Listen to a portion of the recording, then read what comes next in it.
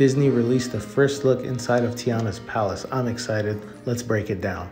You got the instruments on the top and Firefly 5 plus Lou, which is the alligator. The beautiful ceiling, it's gonna look so nice at night, the lighting. Look at this lighting, magnolia flower, Tiana and her father. Such beautiful little touches. belongs to only me. Je t'adore.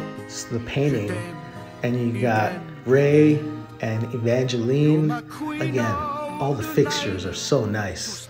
The details, the flowers, they really went all out for this. The little popcorn lighting, the area is gonna look so beautiful. Would love someone like me.